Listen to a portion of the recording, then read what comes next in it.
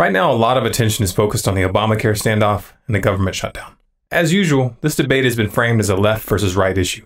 And the American people who just one month ago united in opposition to an impending attack on Syria have divided themselves down this artificial line and have resumed their bickering in earnest. That's not to say that there's nothing to bicker about. There are real reasons to be angry here. Nor is this an appeal for moderation or bipartisanship, a compromise between horse manure and cow manure. Still manure. This becomes much clearer once you put the furlough circus in its proper context. The Democrats and the Republicans are both trying to spin the narrative of this drama to make the other side look dishonest and irresponsible, while painting themselves as heroes trying to defend you, their beloved constituency. And some of you are falling for it. Come on.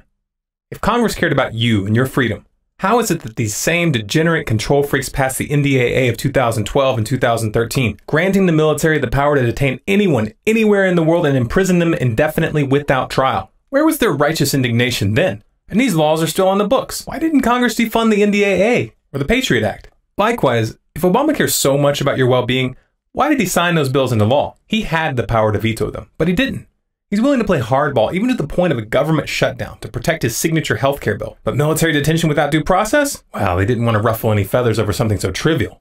And where were these valiant congressmen, these defenders of liberty, when it was time to take a stand against the NSA's domestic spying program? Did they filibuster then? You know, I don't seem to remember hearing anything about that. Do you?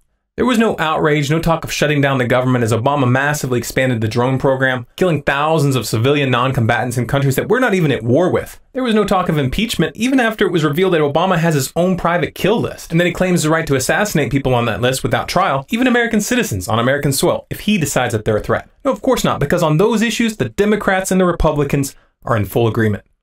Listen, let's not fool ourselves. What we're seeing right now is not a government shutdown. 800,000 workers were furloughed and a lot of public spaces were blocked off, but Congress didn't put their own paychecks on hold. Obama didn't get kicked out of his plush presidential palace. Now, we wouldn't want to treat our precious ruling class like that, now would we? It's the little guys that should pay the consequences. It's the workers who should feel the pain.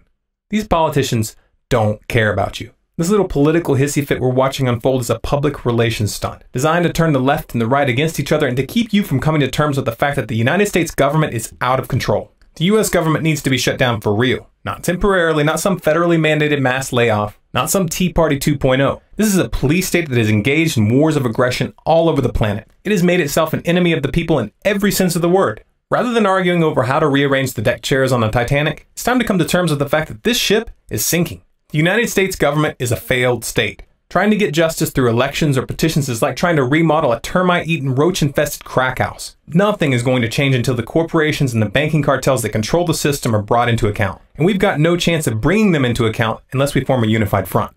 How do we form a unified front?